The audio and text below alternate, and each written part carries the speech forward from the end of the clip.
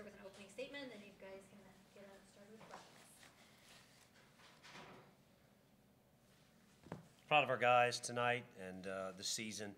Uh, Fantastic year.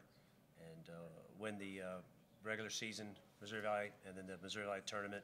Uh, Fantastic achievement for the guys. And uh, congrats to Creighton on a good season as well and a good result for them. And I wish them the best of luck in Washington to represent soccer in this part of the country.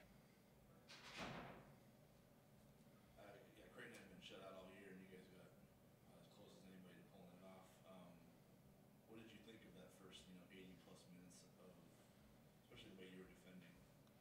Yeah, like I said, proud of the guys. I think they worked really hard, and uh, our, our goal wasn't just to defend. Our goal was also to score goals, and uh, we had some really good chances, and we scored one.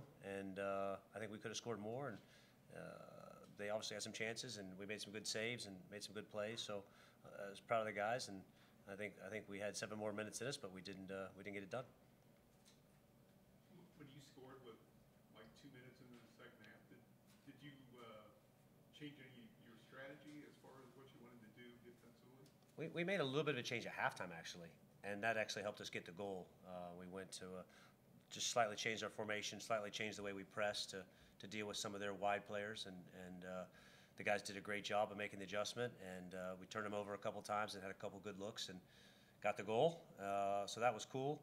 Um, after that, I'd say that um, you know just just some moments we could have been even better in possession and and could have sustained even more attack, and I think I think we could have finished the game off. But we had some good looks, and proud of the guys for that.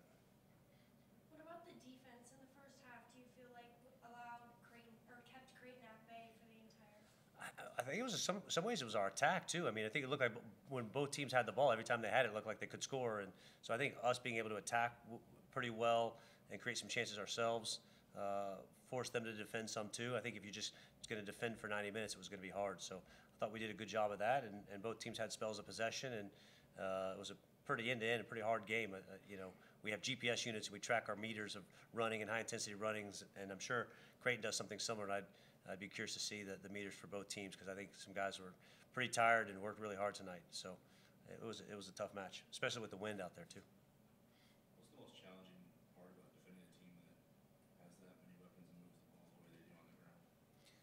I just staying concentrated, just not losing focus and, and, and staying on it. And, uh, you know, but I think it's the same challenge for them. I mean, we've got a ton of good attackers. I think we had the sixth best goal difference in the country, so you got to score goals to have that good a goal difference. So I think it was a challenge for both teams, and and uh, both keepers made some big saves, and, and I think you know it could have been five four if uh, both keepers hadn't really been uh, big in some moments.